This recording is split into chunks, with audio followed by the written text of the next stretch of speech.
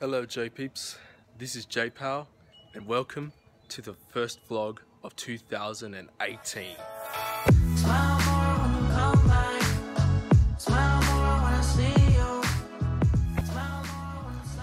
Alright, so if you guys are wondering about this season vlogs, I gotta tell you, it's gonna be very good. And and today we are at um I'm at the backyard of my friend's house, Madeline Gray, and she's celebrating her 18th birthday. So yeah, it's gonna be lit tonight.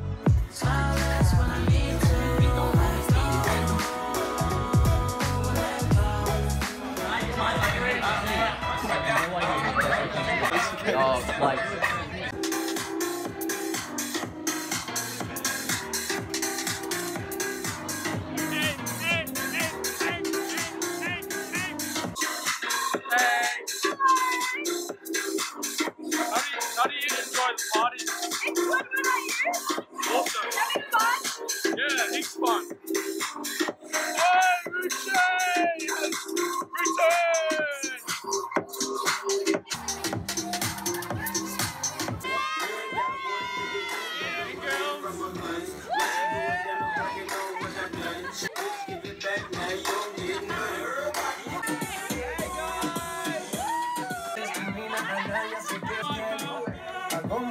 que entretiene.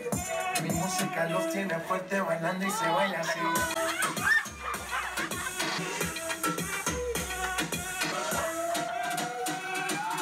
Esquina, esquina, y ahí nos vamos. Yeah, Jay, always subscribe. Subscribe to me. Key. Wait. I need one dance,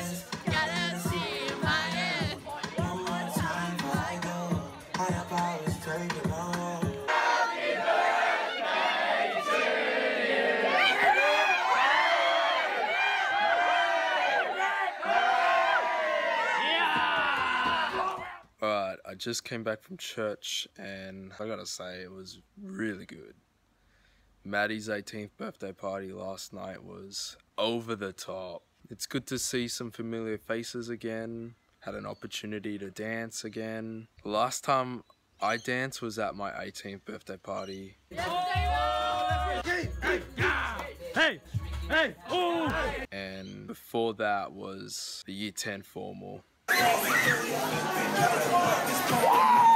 I really enjoyed it. Alright, guys. Now let's talk about something a little bit serious. And I don't know if you have seen this video that I just published. It's on my YouTube channel and it's called Rest in Peace, Billy Graham. And that is where I talk about the pastor and his recent passing. So a lot of you guys are asking me how does Billy Graham impacted me and my life? I guess this is the right time for me to talk to you guys about that particular question. So I may as well say it. So when I was a child, I have never ever heard of Billy Graham until I was around 18 that I've began to research about Billy Graham through Martin Luther King Jr. I gotta say Martin and Billy Graham are two of the best evangelists ever in American history. So I've researched articles and a couple of videos. Honestly, he's a good man with a very good heart.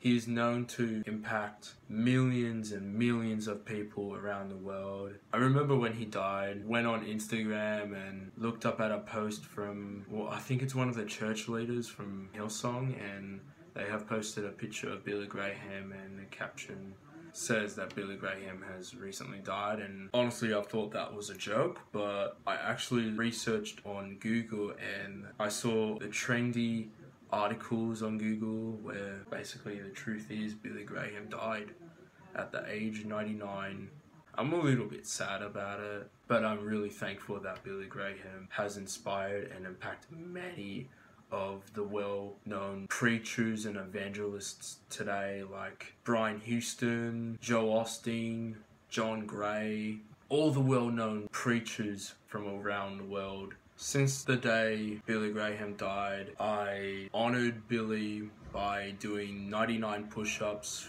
which I have failed. Moving forward to a week later, I have succeeded 99 push ups. I felt very relieved. Also, I have watched a couple of his sermons on YouTube. One of them has really impacted me in my heart.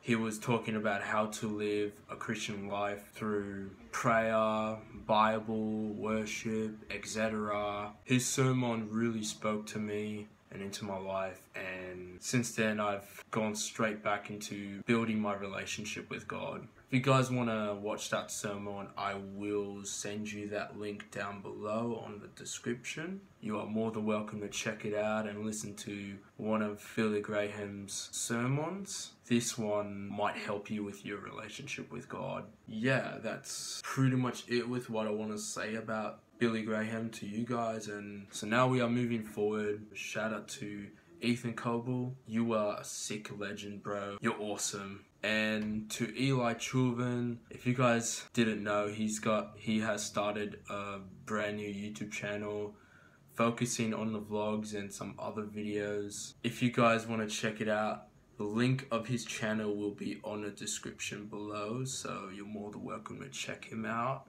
Uh, he's a really good friend of mine and I hope you guys enjoyed this video. Make sure to hit the like button and don't forget to subscribe to my YouTube channel. See you guys next week for another amazing vlog. Really cannot wait for what God has in store for this channel. So yeah, it's gonna be good.